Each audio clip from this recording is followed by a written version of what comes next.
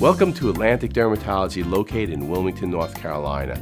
I'm Dr. Crane, I'm a board certified dermatologist, and I'm here to educate you on hyperhidrosis or excessive sweating. Many patients have a difficult time with excessive sweating, and it probably affects about 1 to 2% of our population in a real significant manner. Could you imagine sweating so bad from your hands that it's soaking paper as you go to write on it? Or if you're a police officer and you're going to pick up a gun and you're worried about dropping it because your hands are sweating so much.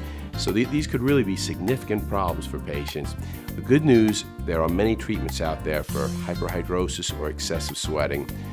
One, there's a pill by mouth called Robinul, and Robinul you could take either once or twice a day and help slow down the sweating throughout your entire body. So there's a pill by mouth for it.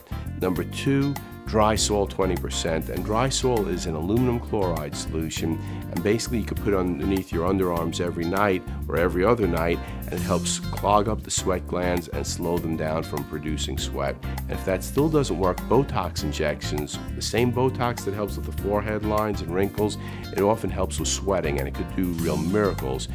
Basically, with the Botox, we'll inject it underneath the underarms every three months to sometimes every year and a half, even.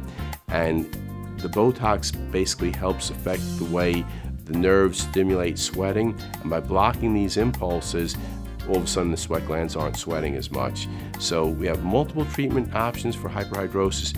If you're a patient that's having a tough time with hyperhidrosis, then see your dermatologist.